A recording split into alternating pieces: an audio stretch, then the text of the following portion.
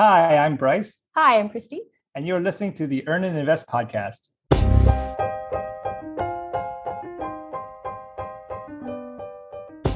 I couldn't think of two more different stories. In the recent award winning Nomadland, Fern, played by Frances McDormand, is grieving a life that's been ripped away from her. When the gypsum plant in her Nevada hometown closes, the town of Empire quite literally closes with it. In six months, its entire zip code is eliminated. Meanwhile, Fern's husband dies, leaving her completely alone and homeless. Hitting the road in search of work as a seasonal employee at an Amazon center, Fern starts living in her van, eventually getting involved with a group of modern nomads, although she inevitably ends up alone again, traversing the American landscape. Let's take a listen to the movie trailer.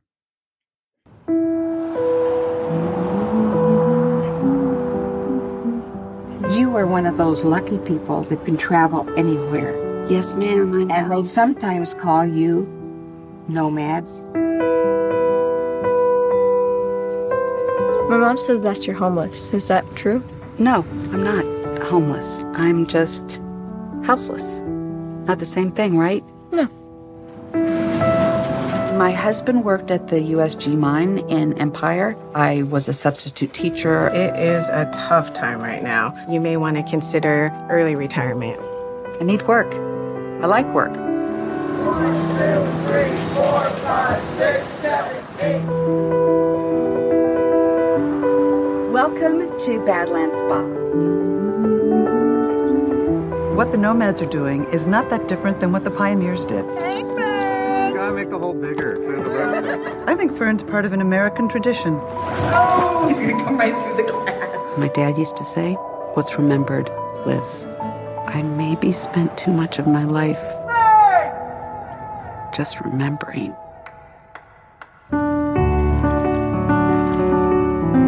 One of the things I love most about this life is that there's no final goodbye. I've met hundreds of people out here, and I don't ever say a final goodbye. It's just say, I'll, I'll see you down the road. And I do. I see them again. And I can be certain in my heart I'll see you again.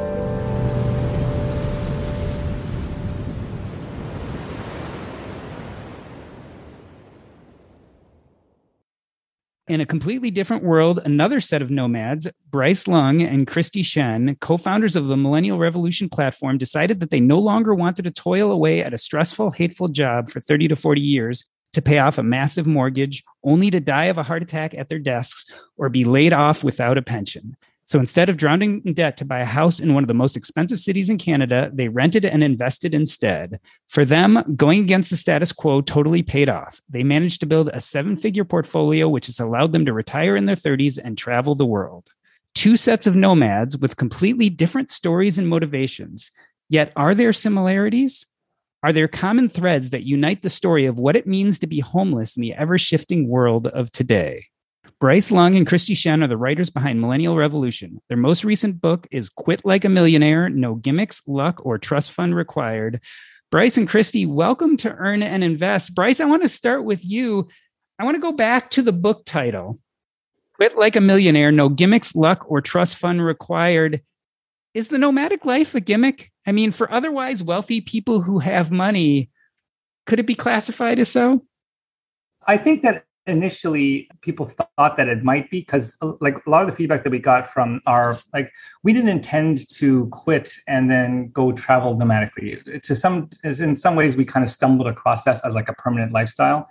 And up till like you know last year people were kind of saying well that's great for you because you don't have responsibilities and you guys have everything in two backpacks. I can't do that because my job is not remote. I, I can't take my kids with me. My wife hate, will hate it this pandemic has really kind of shown you that us that yeah it's a lot more like doable than people think because we were all forced to try to work remotely or and a lot of a lot of people moved out of like you know city centers into like you know suburbs or like rural areas. So before where what where maybe people thought that it would have been a gimmick that that they couldn't do, I think this year we really found out that it's a lot more doable than people thought it was. So in, in a certain sense, maybe if it started off the beginning, it's not now anymore.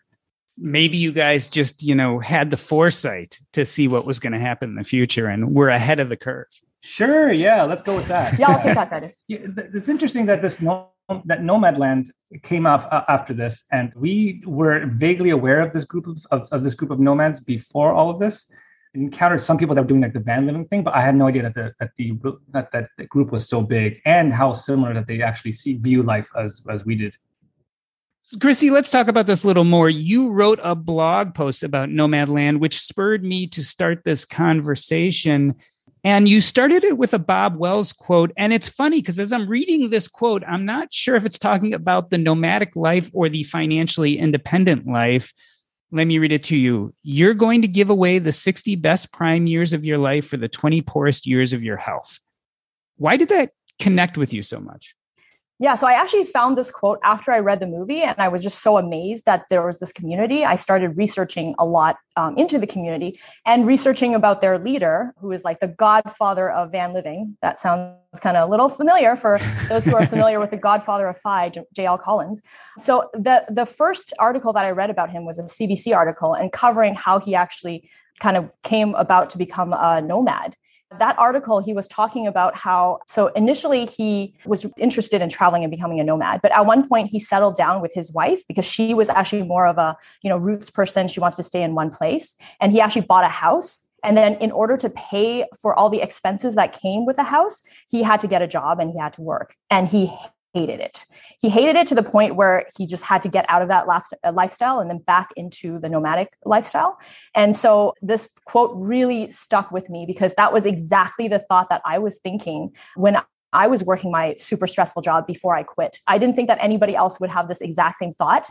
And from a complete different community that has nothing to do with fire, like we all came up with the same thinking, which is the American dream is broken. This whole you need to work until you're 65, you are loyal to the company, you get a pension, you pay off your house, and then you live happily ever after. That's not true there are so many people that don't have pensions and even the people who are lucky enough to have the pension they might actually die of some disease before they even get to 65 so what was it all for? Yeah, Christy, I've heard you describe a coworker who you literally watched have a heart attack at his desk and how that profoundly affected you. Oh yeah, it was terrifying. He was working 14 hour days for three years in a row. And um, like hit, one day it was just like, oh, the ambulance came and then they had to like take him for emergency surgery and he could have died. And then the doctor said, okay, the amount of work that you're doing, the amount of stress you're putting on your body is the same as smoking two packs of cigarettes a day. He's never smoked a day in his life. And then if that wasn't bad enough, I um, actually saw him. So he was left, he left for a week and I was like, oh, this is, you know, a way to reevaluate your priorities. He's going to take a couple months off. He's going to, you know, think about what's going to happen and care about his health. No, he actually just came back to work like a week after. And, and nobody batted an eye. They were just like, oh, uh, he needs to eat healthier and be healthier. Like, and then just kind of moved on with with work and as if nothing happened. And so that's why I relate so well to this Bob Wells character from Nomadland because we have the exact same thought. Like, why are we giving away the best years of our life for the worst years? I think that like because I, I read the book Nomadland, which is the movie follows a single character played by Frances McDormand, right? And but the but the book it's but the original book that it was based on is kind of like a more journalistic thing. It follows this journalist that's going through and interviewing uh, and learning about this community from a lot of the characters that actually end up in the film. And that story that uh, Kristy just told is very kind of it's kind of like a recurring theme that shows up among some of the people there in Nomad in, in Nomadland too. There's something about a near-death experience that really kind of cuts through the BS and clarifies like what's really important. And a lot of them kind of realize, hey, wait a minute, why am I like why like why am I risking my life for a mortgage? So the, so something that both of us really like about this community as well as the digital nomad community, which has a lot of a lot of similar like ethos, is a, a kind of an anti-status quo like thinking, as well as almost invariably a very anti-real estate thinking, which I guess are, are both flip sides of the same coin. Like the nomadland people are just like they hate real estate. They just see it as a prison, right? And I think that's why they, they go out and live in their vans and they call it real estate. Yeah, yeah, yeah. real estate. I like that. Yeah, I know. Yeah. Again, coming from completely different economic reasons for doing so, but they're just like disgust with real estate really resonated with us.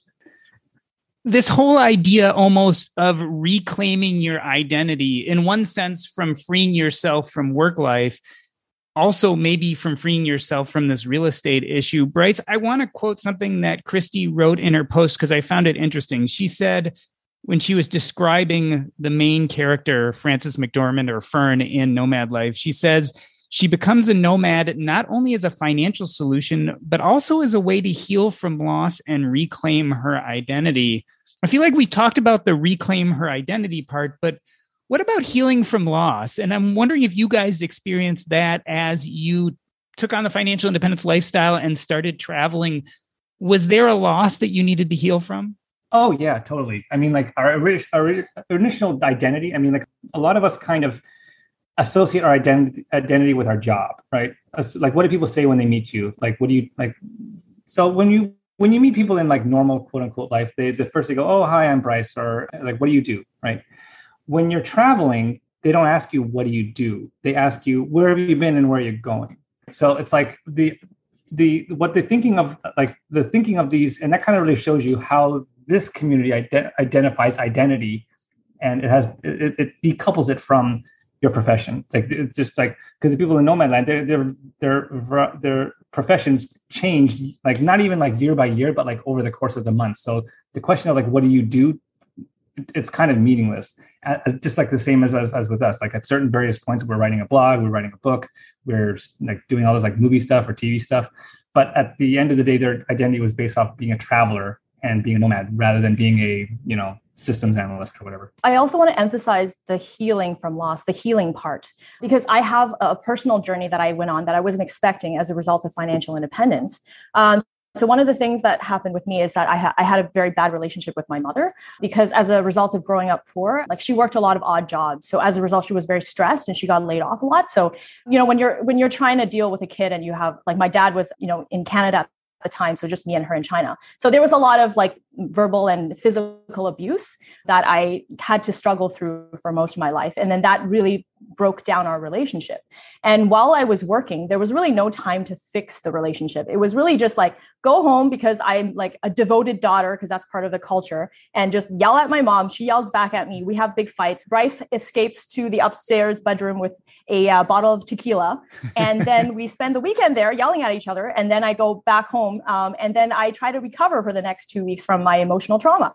So that that just repeats itself over and over again. And then at the time, Bryce is like, "Why do you keep putting yourself through this? Like this is you just keep doing the same thing over and over again." And I honestly did ha- not have any time to think about it. It was just really like work, stress, go home, uh, do your thing, be the devoted daughter that you're supposed to be, and then just the cycle repeats itself.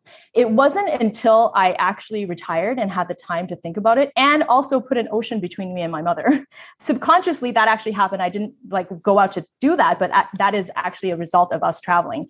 That distance actually gave us time to to heal and, and talk about it.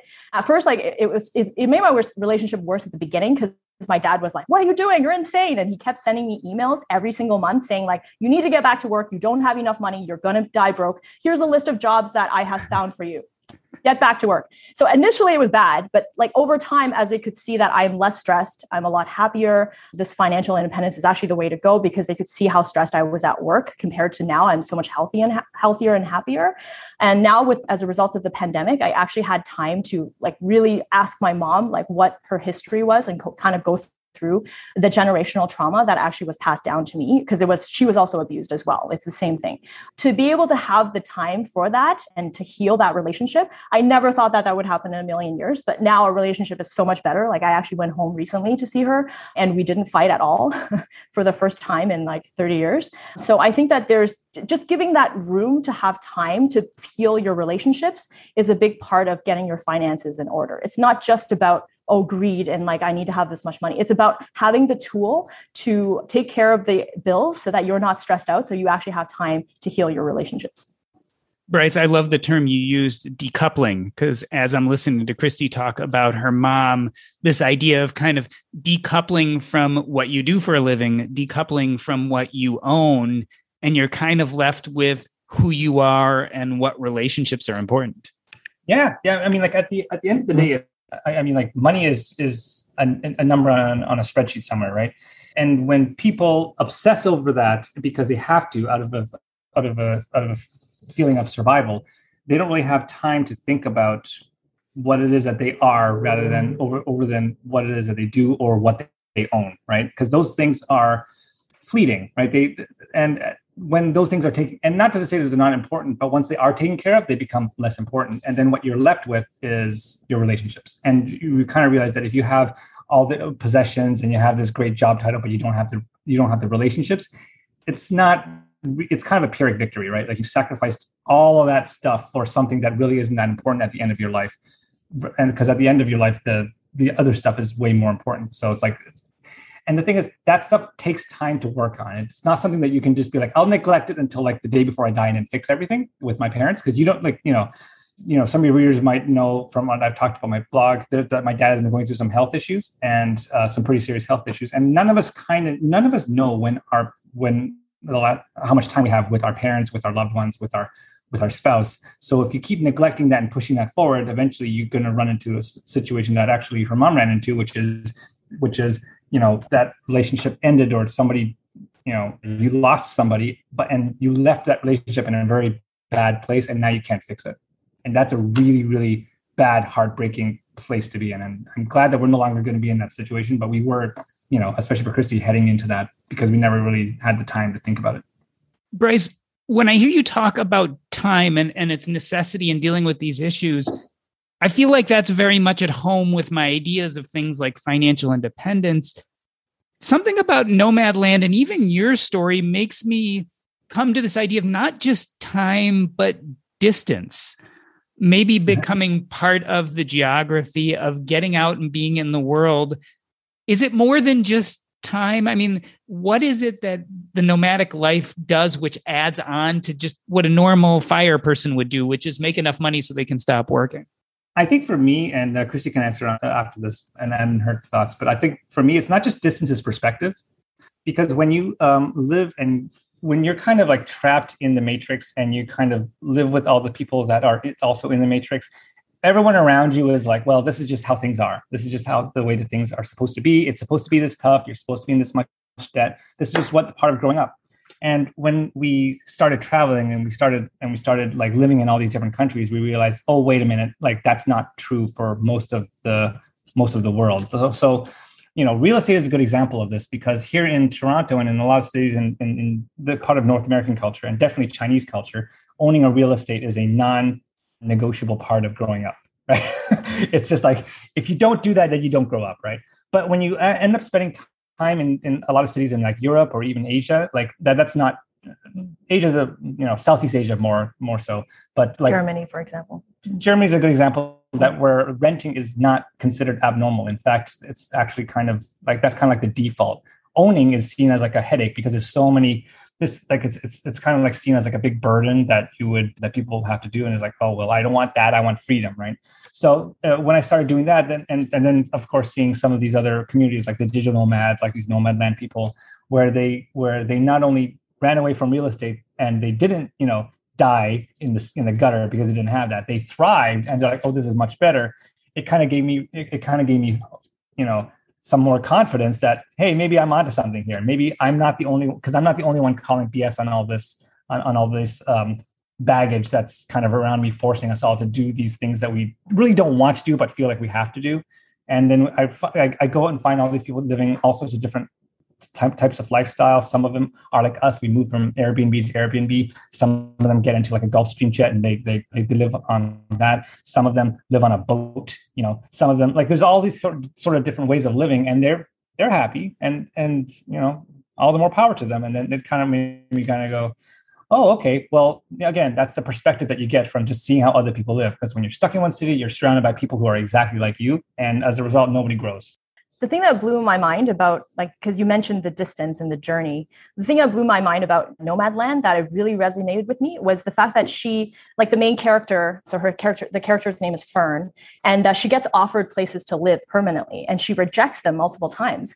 And what you realize is that she's not running away from anything. Like the traveling is part of her identity and she loves being an explorer. And it's the journey that matters, not the end goal. And I think that's a really good allegory for life. Like life is not about, oh, okay, I'm now going to happy because I'm going to get this promotion. I'm going to buy this house and I'm going to be happy forever. No, it's not about a destination. It's about the journey because life itself is uh, composed of many, many moments, and each of those moments are special. And it's about living life and not just trying to achieve something all the time. And I think that's like the biggest takeaway we got from becoming FI and then life after FI is the fact that life is really about the moments. And you really have to be happy with learning how to exist for like learning to live for the uh, relationships that you have the moments that you have instead of constantly trying to strive. Because that's just a treadmill that never ever ends. Like as soon as you get to the top of one ladder then it's going to be the next ladder then it's going to be the next ladder and it never ends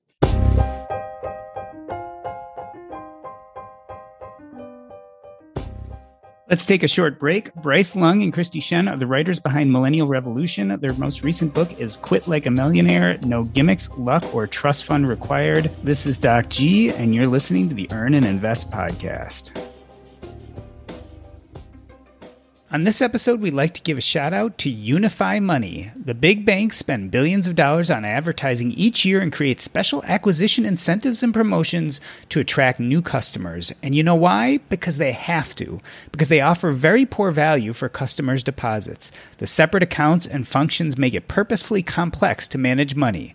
All these expenses, advertising, branch costs, etc., have to be paid for. Unfortunately, it's the customers that foot the bill through low interest rates and high fees. A typical bank retains over 90% of what they make from people's money. Unifimoney aims to give 90% of the money back to users. It has been created to provide people with a better way to manage their money. Unifimoney offers a single solution that includes everything you need for everyday money management, including saving, spending, and investing. Unifimoney has optimized your personal financial management to make it effortless, maximizing passive income via interest and cash back and creating long term financial assets through investment automatically and by default. Unifimoney makes your money work for you, not the bank. If you want to learn more, check it out. Go to earnandinvest.com slash unifi. Again, that's earnandinvest.com slash U-N-I-F-I and check them out.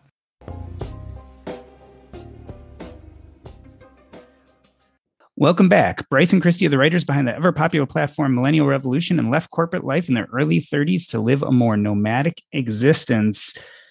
Kristy, one of the ways in which you related to this movie is the portrayal of the American dream script. Another wonderful quote from Bob Wells from Nomadland.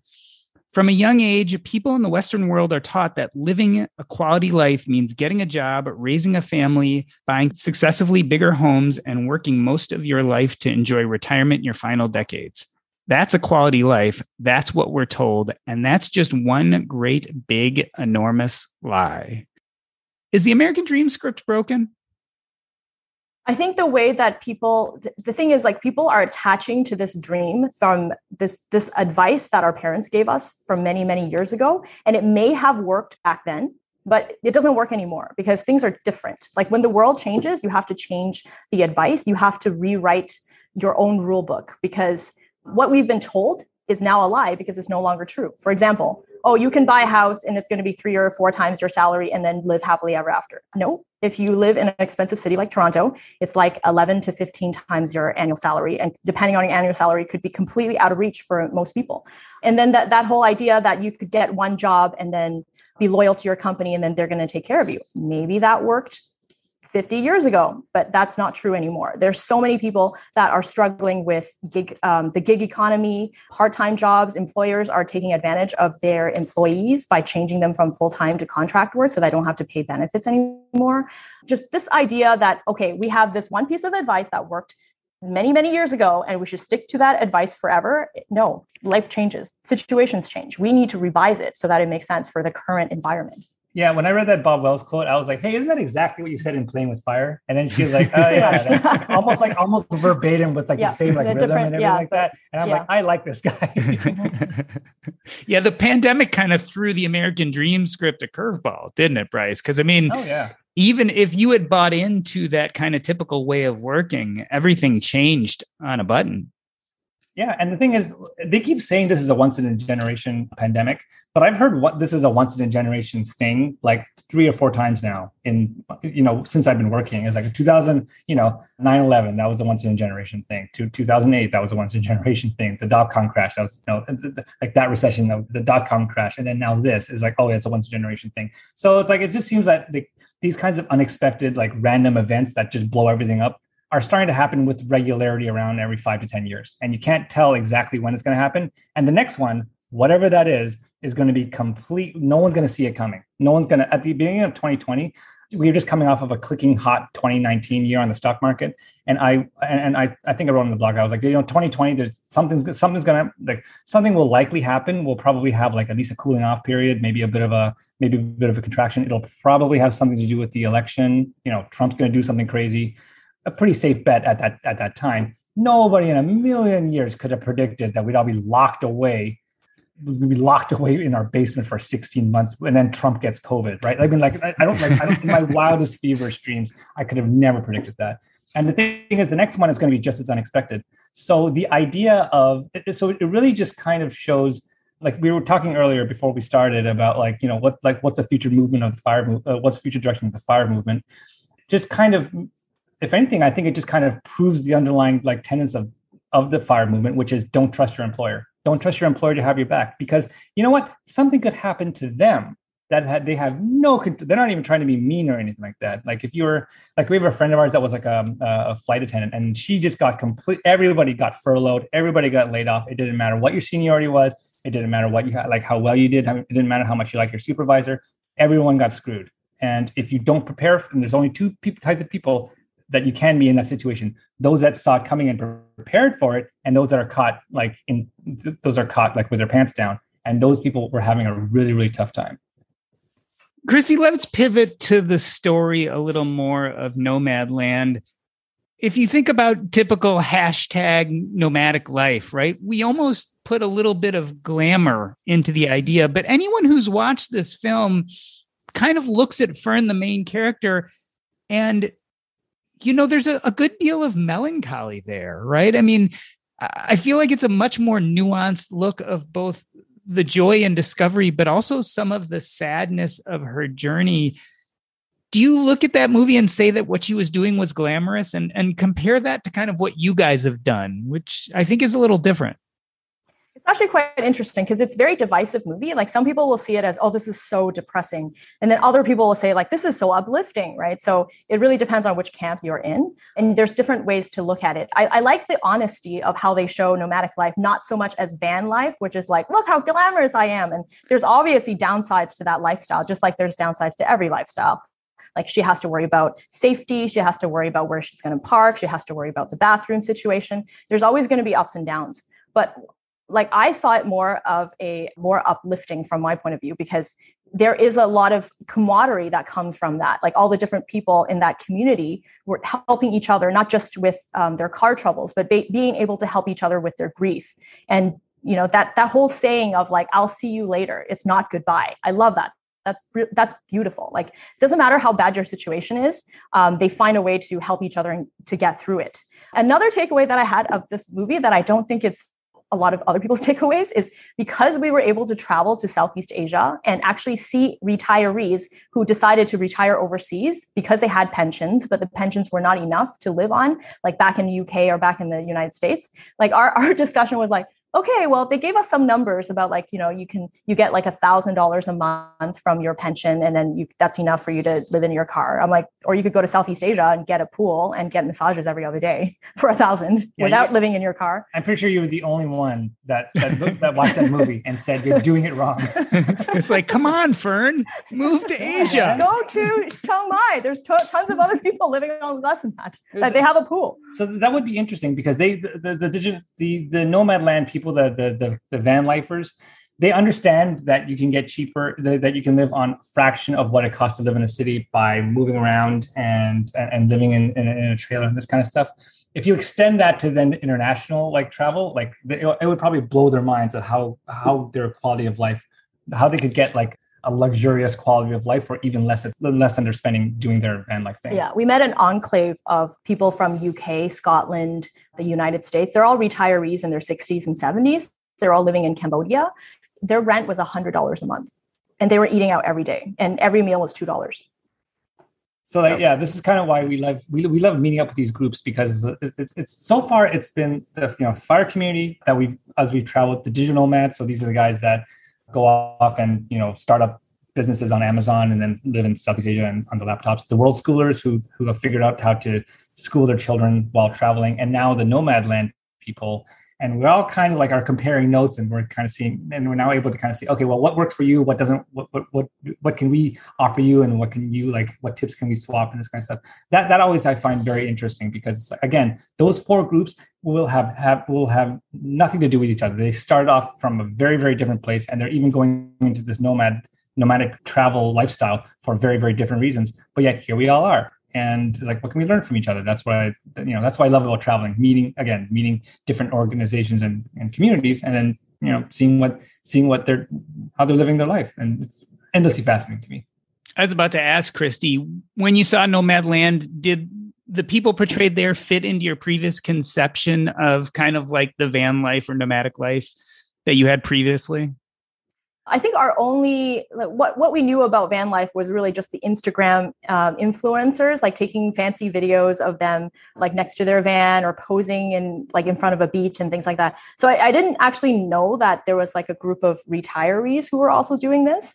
So that that was more surprising. I thought it was a pretty honest portrayal that it's not just for like it's not just this glamorous thing. Some people have to do that out of necessity. So I thought that was pretty eye opening. Bryce, the other thing I found really interesting about this movie was this conception of community. And I really think Nomadland stretches that concept of both being with people and also being alone at the same time. I was really touched by the kind of feeling both for the main character, Fern. Did did you connect with that sentiment of, of being with people, but then also being separate? You do sort of get that when you are traveling because like especially as a single person it's very difficult to form like kind of like a long-term especially romantic relationship. Not that i've tried you know. Other people who are traveling alone they, they do kind of feel that aloneness a little bit more. What really struck me about nomadland is how is something that is interesting about them is that they are they are naturally kind of introverted people right? Like the, the, people that would they would go to this this Chautauqua like conference every year. I believe it's called the Rubber Tramp Rendezvous. The, yeah, uh, yeah, yeah, I think that was yeah. it. Yeah, that's some kind of like a like like whatever. But even uh, but even then, it was like very similar to uh, Chautauqua uh, in in terms of some of the like people would give talks and people would see each, uh, and people would meet up and like have like cookouts and like this kind of stuff. But they also kind of value their their their privacy and a lot of these because a lot of these people are very introverted people. Otherwise, they wouldn't be okay with just being like like like living alone in their trailer for like months at a uh, months at a time of a year.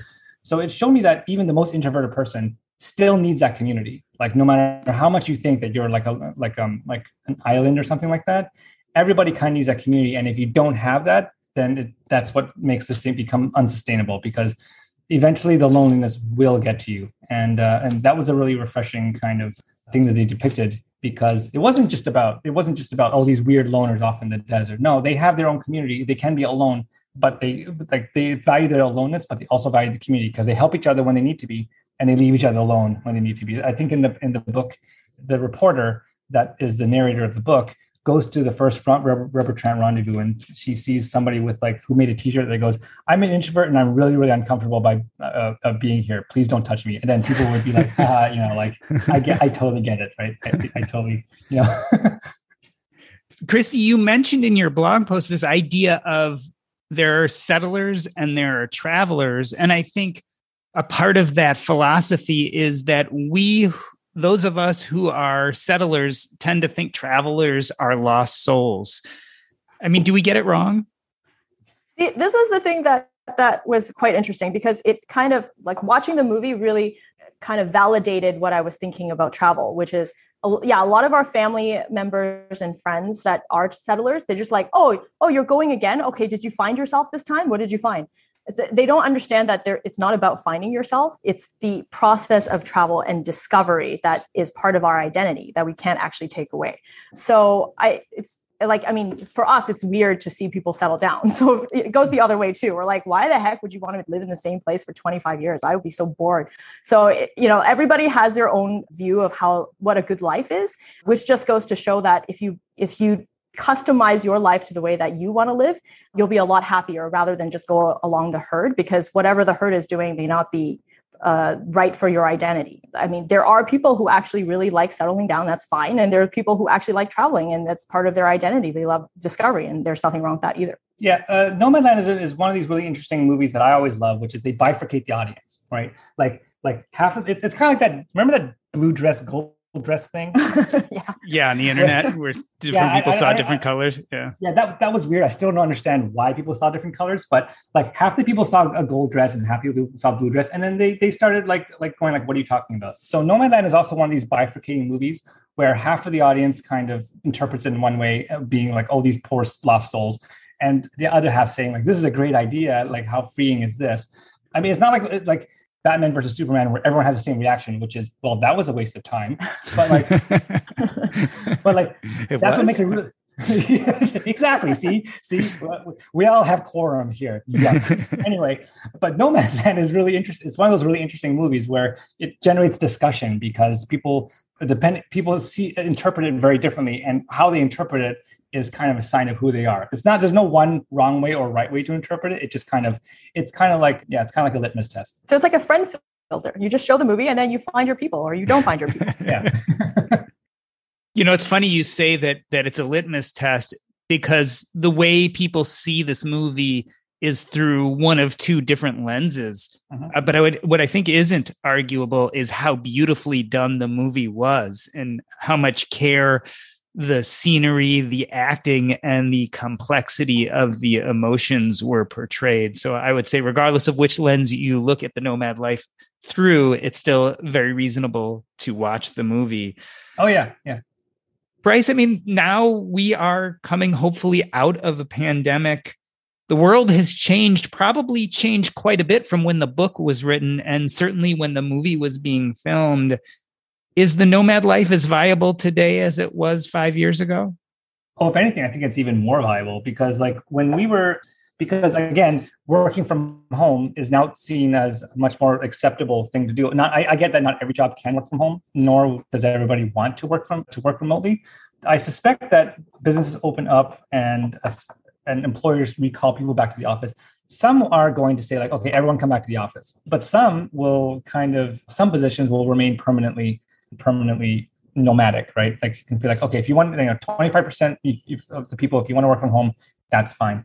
And and that's going to become a lot more socially acceptable. Childcare, and also as I, you know, as as a society, we've had to figure out how to remote remotely school our children some parts worked some parts really didn't some parts uh, really really didn't yes yeah yeah but we're gonna but we're gonna learn from that and we're gonna and, and i suspect that a lot of school boards are gonna have like like a permanent remote learning like component to their schools if you so choose. So now what i'm what i'm thinking is that the support for people who want to be nomadic is going to be naturally like naturally just like been will be established because of what we've all had to be, had to go through. So yeah I, I see the nomadic life as being if anything like a ringing endorsement of what we what happened here. Because the people like toronto is a good example of this where we were able to because we were nomadic and even now even though we're in one city every month we changed apartments every like every month or two we changed apartments and and because we were able to do that we were able to ride the rental uh, prices like all the way down. As rents were like being cut because everyone was fleeing the city.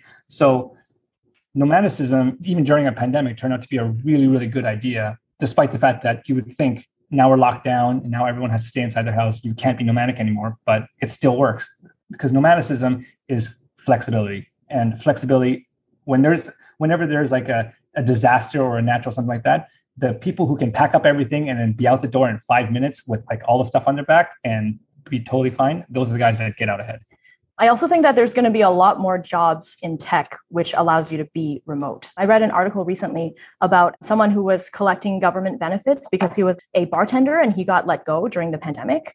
But then as a result of that, he started to look around and see, like, maybe I can convert my job to something remote. And he actually found a program that was training people to be tech specialists and uh, getting paid to actually be trained for three to four months.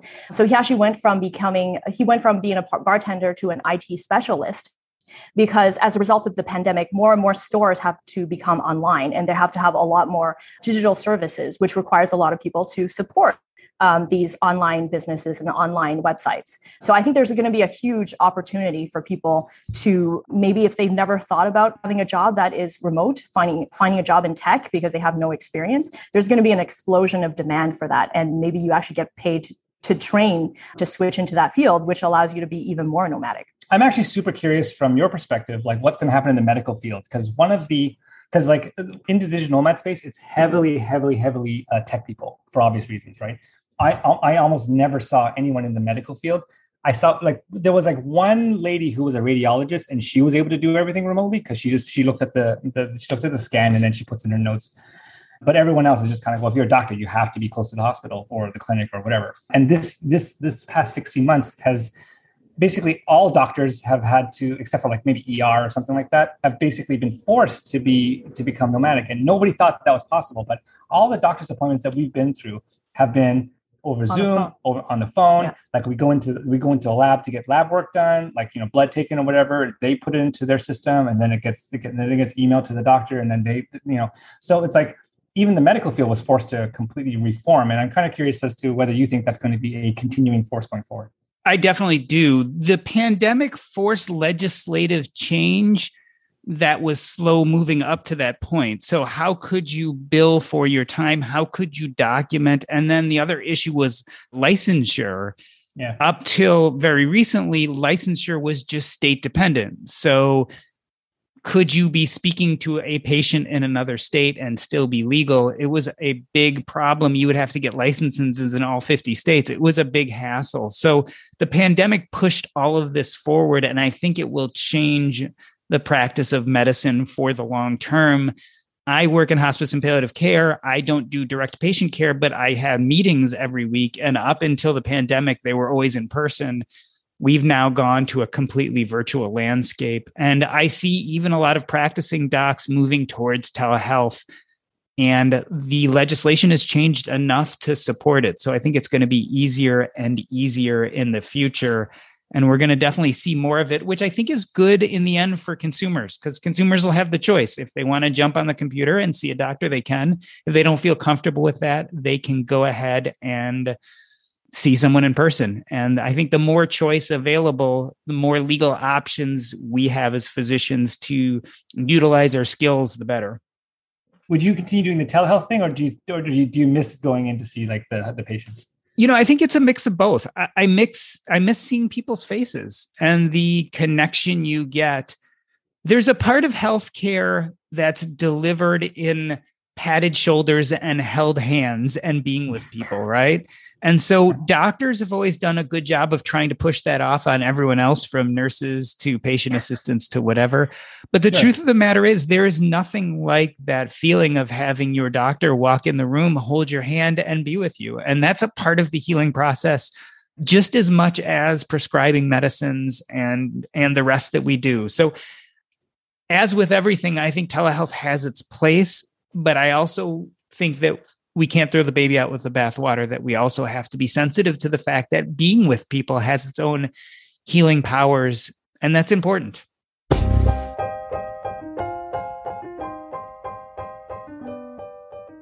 Let me reintroduce you. Bryce Leung and Kristy Shen are the writers behind Millennial Revolution. Their most recent book is Quit Like a Millionaire No Gimmicks, Luck, or Trust Fund Required. We will be back in a moment. This is Earn and Invest.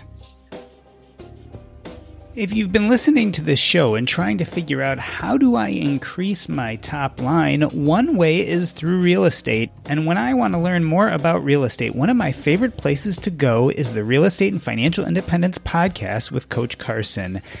This podcast is all about how to use real estate as an asset class to get ahead towards financial independence.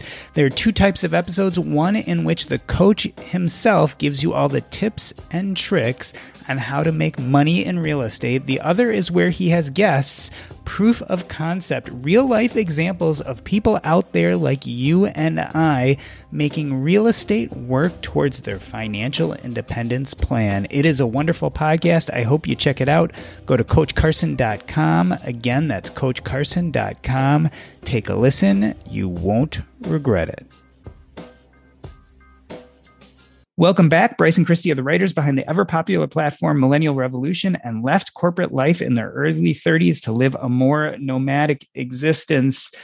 Kristy, let's compare and contrast your life to Fern's life, the main character in Nomadland.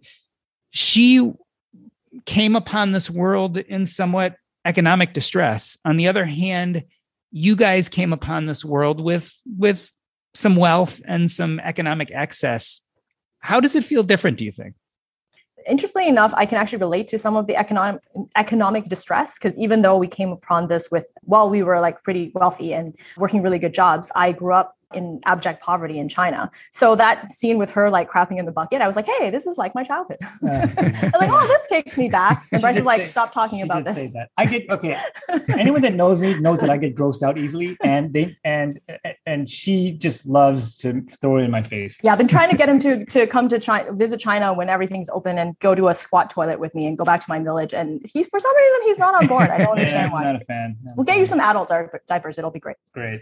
Yeah, well, Bryce, Anyway. Bryce, I, I connect with you on that, right? So I'm watching this movie, and there's certainly parts that I'm like, okay, that doesn't look the most comfortable for me. After coming out of watching Nomadland, where there are parts where you're like, okay, I'm definitely never going to do that?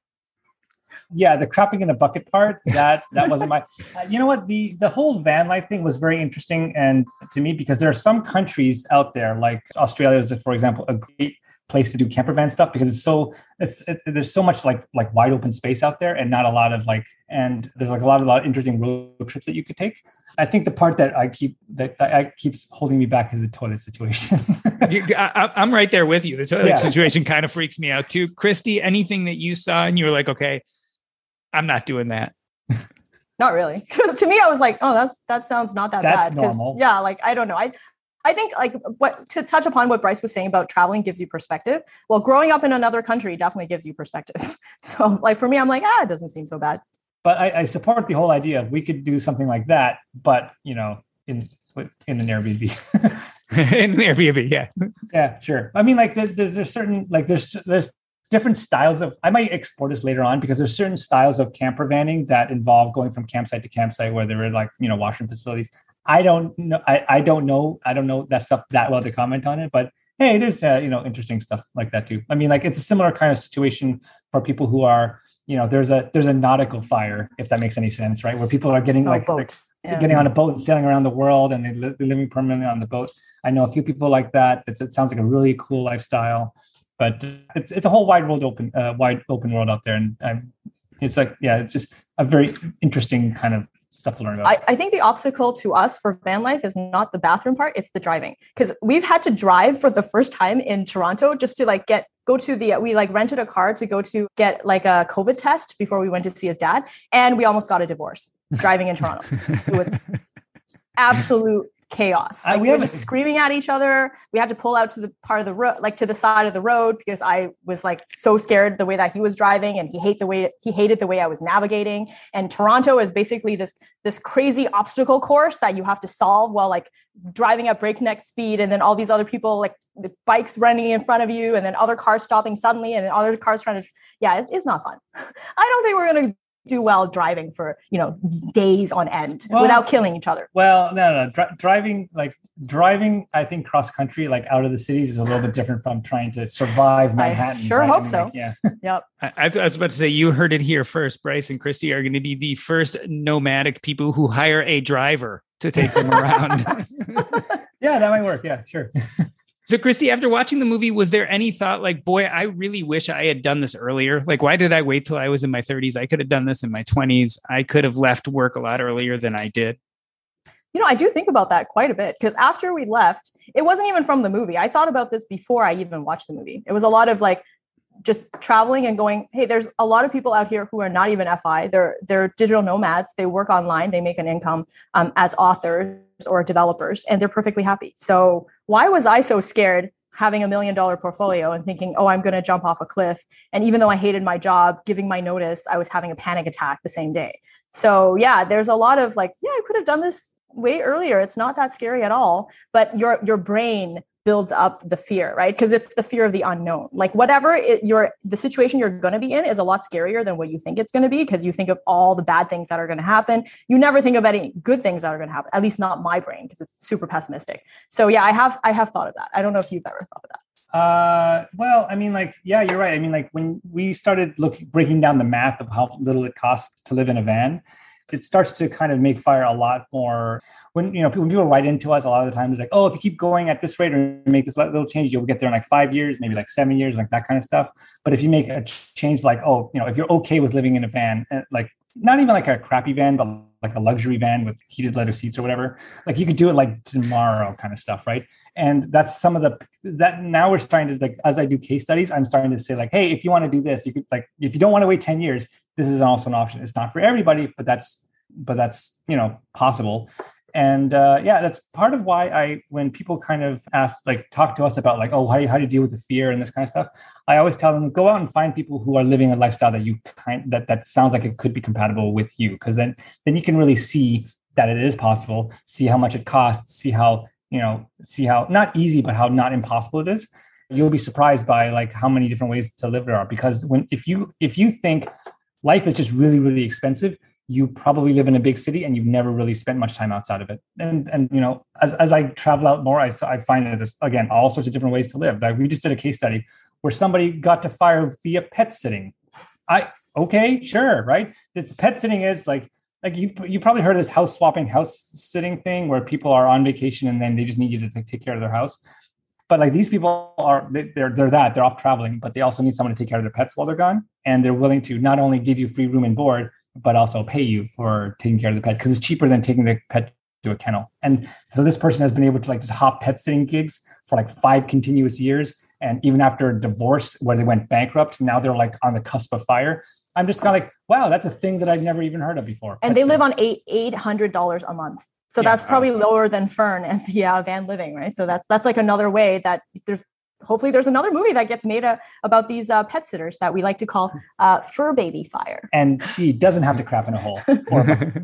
yeah, Kristy, it, it's a real stunning point when you think about poor Fern, right? And what she was doing to make a living, and yet still finding a sense of purpose and beauty in the world. And then you have us financial independence proponents who are sitting there with seven figures and worried that we're not going to have enough to it live our van silly, life, doesn't it? It also yeah. makes me want to meet Fern and do a reader case on her. It's like, okay, Fern, let me look at this. Maybe I can get you into a pool in Southeast Asia. I feel like there's a better way to do this. Well, Fern's a fictional character, right? yeah, she's not real. There's got to be a Fern out there, though. There's a, there's a, there actually are. Yeah. We tend to run in circles with a lot of financial independence people. Would you recommend this movie to the financial independence community, and why, Bryce?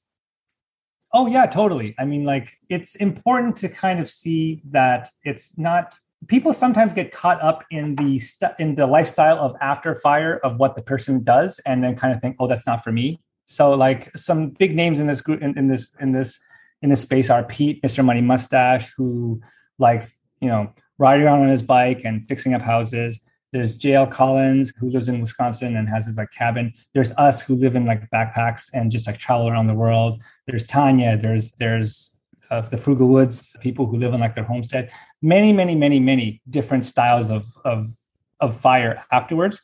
And I like to encourage people to think it's not about like, oh, you have to be like Pete or you have to be like us, like, and and that's how the right way to do fire is.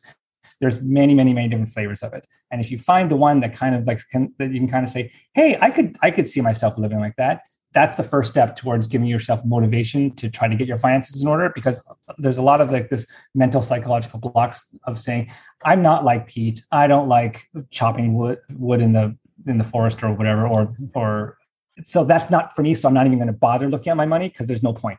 And that's a really harmful way of looking at it. So Nomadland is just another kind of like part of the next step of like your the financial education of, of the world. There are many ways of living out there, and there's ways of doing that that are a lot cheaper yet, but still have happiness and dignity. And see if it's for you. Kristy, to be a little redundant here, but I think it's worth saying, you know, a lot of people watch this movie because they were interested in the nomad life, but maybe a lot of the lessons Fern teaches really transcend whether you're nomadic or not, and maybe speak a lot to what we've been kind of hitting on this whole time with financial independence. Yeah, it's it's the human condition, really. It's like the she teaches you that you need to have if you have a community that gives you mission because she lost her husband she lost her entire identity. But then she's able to find because she found camaraderie and she was able to heal because bob wells had also like similar kind of loss and they were able to help each other heal. There's there's that that lesson that we all need each other. It's not just you know you're just off eh, by yourself as a lone wolf after you retire and then you're going to be happy forever. And then the other lesson that she teaches is that life is a journey. Life is not meant to be trying to accomplish things or get to the end of something and then life is all about change and it's you have to treasure every single moment because that's that's all we have as human beings. Well we are discussing the nomad life and the book and movie nomadland. Bryce and Kristy i wanted to thank you for coming on today. I think so many of these lessons really do transcend the hashtag van life hashtag nomadic life and are a lot about how we choose to live when we give ourselves the space and distance and freedom to do the things we want to do. I want to end this episode the way I end every episode by asking you both what is up next in your life. And if people want to know more about you, where they can find you online. Kristy, what is up with you guys? What's happening next? Yeah, so for now, we're um, staying put in Toronto because we're still somewhat under lockdown.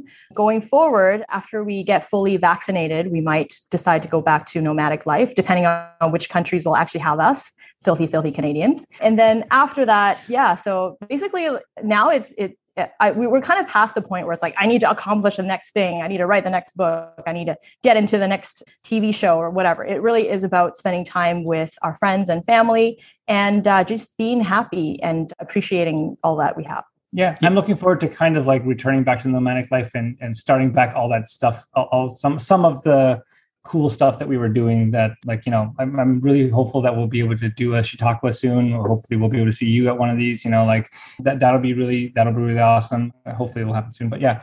I think I, I, think we're all kind of like in a holding pattern and we're just kind of like and just like the rest of the world can't like chomping at the bit to like bust out of it. And after that who knows? Yeah. But we'll, feel like you guys have been micro nomads. So you said get back to the nomadic life, but you've been micro nomads and yeah. now about yep. getting back to being macro nomads. Exactly. Exactly. Well put. Finally get my passport out of the uh, safety deposit. Oh yeah, box. dust off the old dust passport. The passport. And Bryce, what's the best way for people to find you online if they want to know more? Oh, it's always our blog, millennial-revolution.com. We also have, as you mentioned, our book is in every fine place where books are sold, uh, like a millionaire, and that's the best place to find us. We are we're continuing to write, and yeah, hope to see everyone out there. This has been the Earn and Invest podcast. On behalf of myself, Doc G, I'd like to thank Bryce and Kristy. That's a wrap.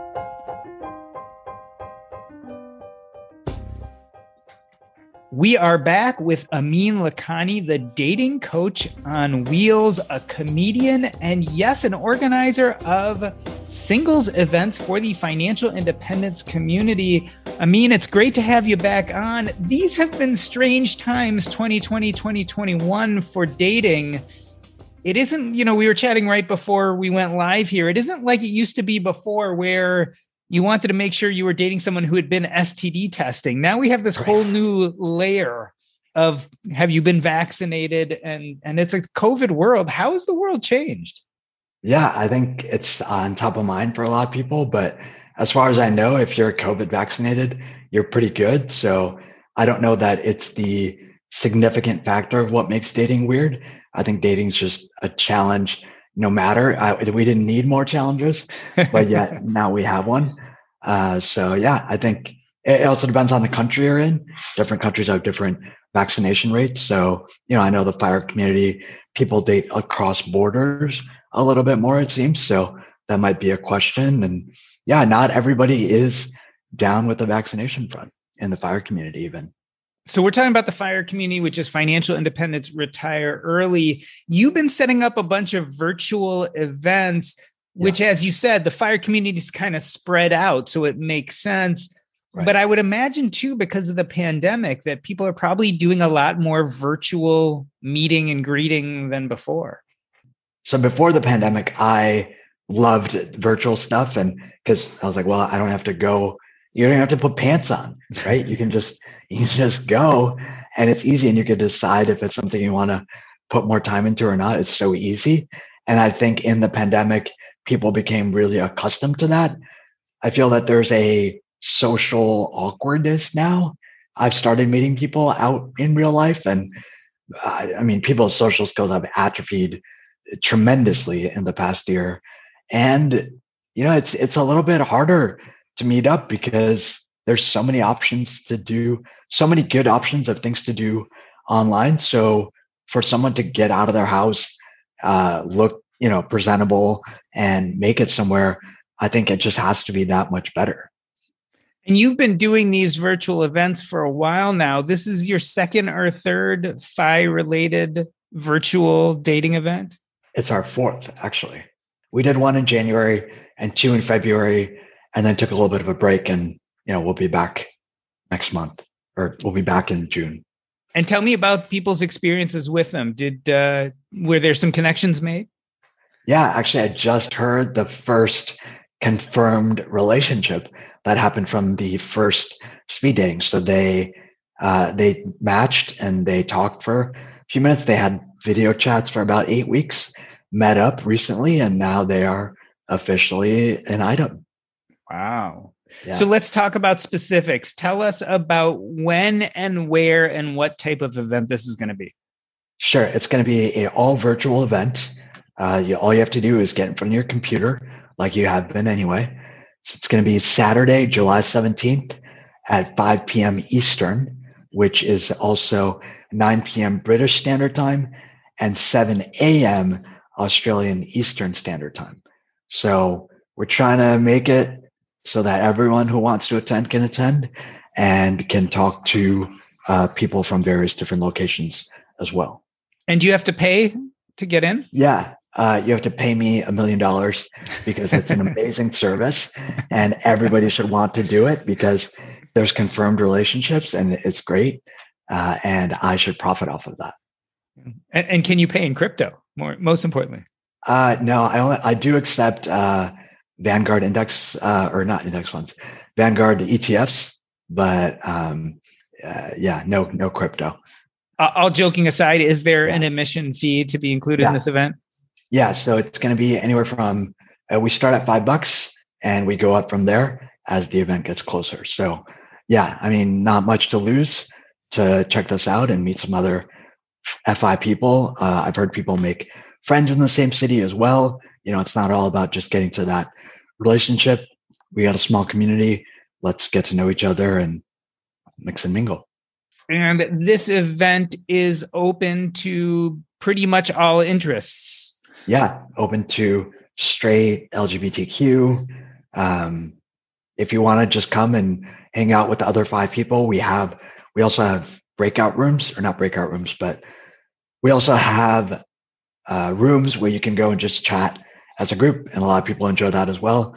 I know some people that came to the last one that are actually in a relationship who met uh, not at a speed dating night, but another virtual event that I did. They're both in relationship with each other, and they just wanted to come and hang out with us. So they came and just joined the the rooms. And do you think in the future you'll ever do a live event? Is this the kind of thing that eventually will turn into an IRL type issue in real life? Maybe, but someone actually asked me about that. Um, uh, uh, Diana from the EconoMe conference asked me if I would do that. And uh, I'm not super thrilled about it because honestly, this is great. Like I just have to, for me too, effort wise, just got to show up in front of the computer, chat with some people. If it, if it clicks, you know, you can plan something more with that person. But if it doesn't, you don't have to waste your time schlepping somewhere, talking to all these people, going through all those awkward interactions. The great thing about this platform is after three minutes, it just cuts off. If you do nothing, it just ends the call. And that's a really nice way to not be a dick about it because people want to be polite, right? I mean, I want to be polite too. Nobody wants to say, "Yeah, I'm not interested. I'm going to go." That's that's really hard to say, but letting the default timeout just happen is really nice and just very efficient. So I found it helpful in that. If there's connection, you can always connect offline and explore that more if you want. And it's a speed dating format. Is it the idea that you Yes. get a certain amount of time with each person, then it moves to the next one? Yeah, you get three minutes with each person. You can extend.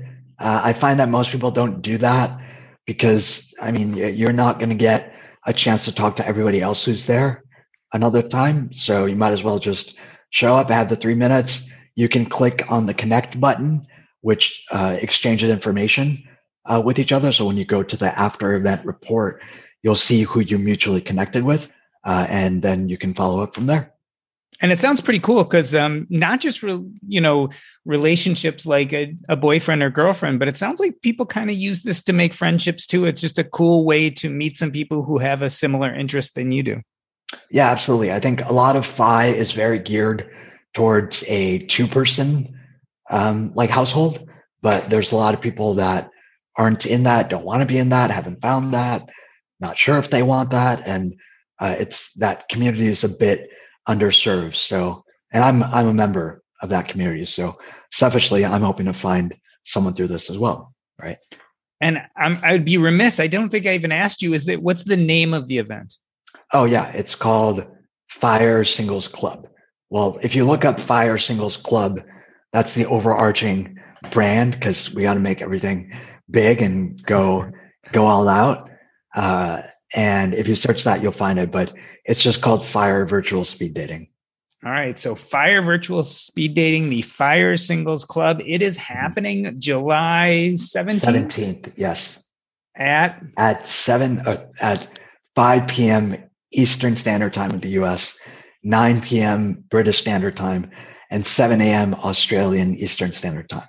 For those uh, Aussies that are gonna that are gonna um, uh, join us, I would be I'll be very impressed.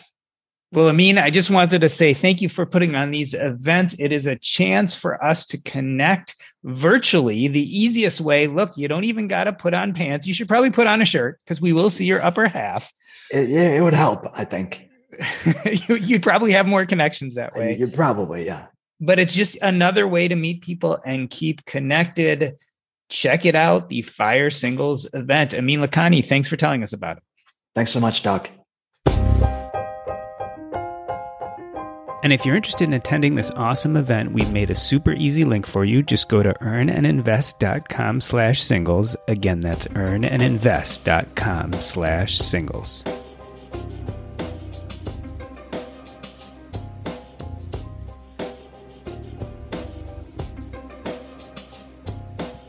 Yay! Yay. Awesome. That Well, was that a lot got- of fun. I like that that conversation.